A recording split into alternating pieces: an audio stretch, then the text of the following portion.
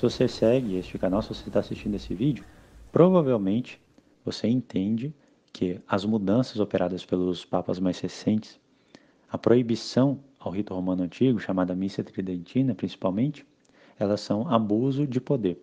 Elas não foram operadas tendo em vista a vontade divina. Elas não foram operadas, não foram feitas tendo em vista o bem comum, mas de uma forma ou de outra para agradar o mundo ou para agradar alguns grupos. A Semana Santa, porém, foi o primeiro objeto das mudanças. Não foi logo o rito ordinário da missa, aquela missa que você vai todo dia, mas a Semana Santa. Então é possível, em alguns lugares, a maioria deles, em que se celebra o rito romano antigo, a chamada forma extraordinária do rito romano, a missa tridentina, você não vai ver a Semana Santa antiga. Porque a Semana Santa que não pode ser proibida, a Semana Santa que nunca pode ser abolida, é aquela anterior a 54.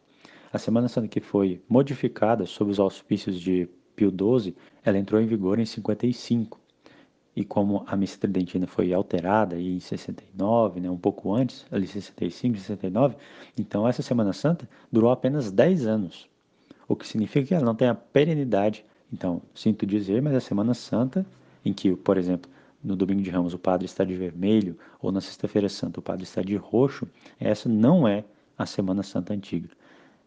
Informe o seu pároco, o seu padre que celebra a missa tridentina, para ele fazer a Semana Santa antiga de verdade a Semana Santa Tridentina de verdade. Eu vou mostrar aqui uma página do Missal Tridentino de verdade para mostrar, para provar que a Semana Santa Tridentina antiga é a pré-55, antes das mudanças de Pio XII. Na Sexta-feira Santa, há uma parte do serviço da chamada Missa dos Pré-Santificados em que há diversas orações pela conversão de diversos segmentos, diversos grupos. Uma dessas orações é pela conversão dos judeus, e essa oração foi a mais modificada de toda a história da missa tridentina. Por que será? É pela conversão dos judeus. Qual será o grupo que mais influencia aí a vida da igreja, mas também a do mundo, dos banqueiros, enfim, aqueles que governam o mundo. Todo efeito tem uma causa proporcional. E um efeito tão grande como a crise em que vivemos não pode ter apenas uma causa, mas essa deve, com muita probabilidade, ser uma delas. Porque todas as graças nos vêm da cruz de Cristo, do Calvário. E o que é a missa senão a renovação desse sacrifício, a representação desse sacrifício, a atualização deste sacrifício, daquele mesmo sacrifício do Calvário, nas nossas vidas. Ou seja, a Santa Missa nos transmite as graças da cruz de Cristo. E principalmente na Semana Santa, que é o centro, é o ápice da liturgia, é o ápice do ano litúrgico. Principalmente o tríduo sagrado. E nenhum desses dias é mais doloroso do que a Sexta-feira Santa, que é o dia específico em que se recolhe, se representa a paixão de nosso Senhor, onde operou a nossa salvação. Nós sabemos que o anticristo se sentará no terceiro templo, em Jerusalém, e que os judeus serão os últimos a se converterem ao catolicismo. Esses dias nós celebramos São Cirilo de Jerusalém e eu contei a história dele que é a respeito do templo de Jerusalém. Os próprios judeus cumpriram a profecia de Nosso Senhor de que não restaria pedra sobre pedra. Os judeus, porém, serão os últimos a se converterem ao catolicismo. Quando a Santa Missa for celebrada ali pelo profeta Elias na Arca da Aliança, eles verão o céu aberto e a Santa Missa, e ali reconhecerão Nosso Senhor como o verdadeiro Deus, Nosso Senhor Jesus Cristo como o único Deus. Enquanto isso, eu recomendo a leitura do livro The Jewish Revolutionary Spirit, do E. Michael Jones. Nós sabemos que a liturgia da igreja foi mutilada por inúmeras reformas, mas nenhuma oração, como eu disse, foi modificada tantas vezes quanto a da Sexta-feira Santa pelos judeus. Não é possível agradar os judeus com relação à cruz. Não importa quantas mudanças fizermos, se nós negarmos a cruz, estaremos traindo nosso Senhor, exatamente como fizeram os judeus. Tem coisas no Talmud que são blasfêmias contra nosso Senhor. E veja como isso infiltrou na igreja. Tem até um padre jesuíta que sugeriu que nós parássemos de ler o Evangelho de São João. Segundo ele, é antissemita. Nas intercessões da Sexta-feira Santa, nós temos orações pelos catecúmenos, e ali nós usamos a palavra fides, que quer dizer fé. Nós temos também orações pelos infideles, que são os sem fé, e temos essa oração pelos perfides. Per é contra, né? E fides é a fé. Então eles são contra a fé, eles traíram, eles entregaram nosso Senhor. E foi isso que aconteceu. Não há como negar. Nós temos então orações para grupos específicos: hereges, cismáticos, judeus. Os judeus não são cismáticos, Eles nunca foram da igreja e depois se separaram. Eles não são hereges porque eles não negam um artigo da fé. Um herege, por exemplo, ele deixa de ser herege quando se converte. A mesma coisa com o cismático. Mas os judeus não, porque isso é uma raça. Nossa Senhora, Nosso Senhor, os apóstolos eram judeus. Então, rezamos apenas pela conversão dos pérfidos judeus, e não de todos os judeus, porque já tem judeus que são católicos. Nessa oração, então, não se genuflecta. Veja esse missal aqui de 1500. Oremos et propera fidis iudeis, ut Deus et Dominus noster auferat velamen de... não sei o que é isso.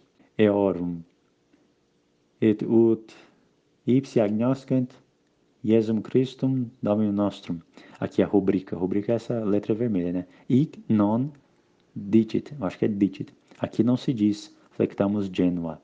E nem a resposta, né? Levate, portanto. E não se genuflecta. Omnipotens sempiterne Deus, qui etiam iudeis perfiam, a tua misericórdia non repelis, etc. Nessa oração, portanto, não se genuflecta. E isso nós temos que aceitar com um espírito de piedade, de reverência. Tem mais de mil anos essa oração, pelo menos. Por quê? Porque os judeus iam até Nosso Senhor e genuflectavam diante dele para zombar de sua, entre aspas, realeza judaica. Esse artigo do Corpus Christi Watershed é muito bom.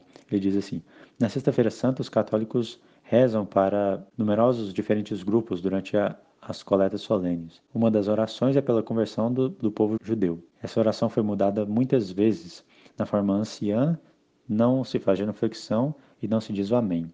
A mesma palavra hebraica. Né? A história por trás de não genuflectar aqui é profunda e não pode ser discu discutida nesse pequeno artigo. Parte do simbolismo tem a ver com enfatizar quão sério é zombar de Jesus Cristo. São Mateus, que, como nosso Senhor foi um judeu, escreveu no capítulo 27. Então o sumo sacerdote rasgou as suas vestes, dizendo: blasfemou. Então cuspiu na sua face e o esbofeteou, dizendo: Profetiza para nós, ó Cristo, quem te bateu? E vejam um ímpeto para fazer essas mudanças. Né? Então, Paulo VI mudou, João 23 mudou, Bento XVI mudou essa oração, e nunca vão se contentar. Eles nunca vão se contentar com isso. Veja aqui a nota de rodapé. O Papa João 23 até mesmo interrompia as cerimônias da Sexta-feira Santa quando a palavra pérfidos, com relação aos judeus, né, foi adicionada por, por engano. Ele pediu para que a oração fosse lida novamente sem aquela palavra. E, e essas mudanças iniciaram o desastre litúrgico. Eu vou deixar aí na descrição do vídeo e também nos comentários um link para você baixar um cartão de oração para você ou imprimir ou ler no, no, telefone e ter a oração original em seu coração durante a missa dos pré-santificados e não genuflectar naquele momento. Esse ano talvez seja apenas você na igreja que não faça genuflexão. Ano que vem, talvez 10 pessoas. No próximo ano, quem sabe 100. E se você for na missa nova, é pior ainda, porque colocam o povo todo para gritar durante o evangelho: crucifica-o. Não grite isso. Eu tenho recordação de me sentir extremamente incomodado com essas palavras. Eu devia dizê-las, né? eu devia gritá-las. É uma, uma coisa assim bem, bem difícil para uma criança entender. Mas eu lembro de dizê-la por impulso, então todo mundo ali estava dizendo. Acho que isso é o próprio diabo pregando uma peça em nós, né? zombando de nós, incutindo na cabeça de todos um sentimento ruim contra o nosso bom Deus. Em 2018, o Vaticano até deu uma permissão para que as pessoas fizessem a liturgia pré-55, mas com a condição de que usassem a oração de Bento XVI para os judeus e fizessem genuflexão. A igreja, o Papa, tem sim autoridade sobre a liturgia, como diz exatamente o Concílio de Trento, mas não para fazer o que quiser e por qualquer motivo. Isso não é autoridade. Porque a autoridade, ela não existe por si mesma, mas ela existe pelo motivo que ela foi dada. Nosso Senhor deu a São Pedro e aos apóstolos autoridade para quê? Para a salvação das almas. Mesma coisa de usar o argumento do Código de Direito Canônico. O código, a lei da igreja, não existe por ela mesma, mas para a salvação das almas. E se o exercício dessa autoridade não for para o bem das almas, e isso deve ser certo, não especulativa ou esperando por uma boa chance, então essa autoridade não está de acordo com a vontade divina. São Tomás diz que a lei tem que ter como fim o bem comum. E se essa lei não visa o bem comum, se ela não promove o bem comum, ela não é lei nenhuma. E por que, que o exercício dessa autoridade para gerar uma mudança deve ser certo e não especulativa? Porque toda mudança causa confusão e desorientação. É preciso então ter certeza de que o bem que vai ocorrer, vai ser gerado por essa mudança, seja maior que o mal que a mudança vai causar. A justificativa dada para a mudança dessa oração não foi a salvação das almas, mas os sentimentos para com os judeus. A justificativa, se vocês se recordam, dada para fechar as igrejas durante a gripe, não foi para salvar as almas, mas medo de perder o prédio, medo de ter que pagar a multa, medo da pessoa morrer. Durante a Semana Santa, os bispos disseram para que não beijássemos a cruz para não pegar a gripe. Também disseram e proibiram receber Nosso Senhor na língua para não gripar. Ah, mas Bento XVI queria atrair os judeus com essas mudanças. Bom, nós não atraímos ninguém sendo fracotes. Por que, que o Islã, por exemplo, atrai homens? Porque eles são firmes nos seus princípios. Nós temos que ser firmes nos nossos princípios, porque eles são verdadeiros. Nós temos que ser piedosos ao receber com filial devoção as tradições que nos foram passadas. Quanto mais uma oração perdura na vida da igreja, mais é sinal de que ela é desejada por Deus. E uma oração que foi e ainda é rezada por mais de mil anos, é bem mais certa de que Deus a deseja do que uma oração que tem 10 anos ou menos. Então baixe o cartão, clique aí no link, é de graça, tá? não vou cobrar nada por isso. Imprima ou use no telefone, se quiser, na Sexta-feira Santa. E mande este vídeo para um sacerdote de boa vontade. Se você não sabe explicar a respeito da Semana Santa, pré-55, no canal já tem alguns vídeos explicando também como servir a essa missa, como ser cerimoniário, e também estou à disposição lá no Telegram, para qualquer dúvida a esse respeito. Ave Maria Puríssima, sem pecado concebida.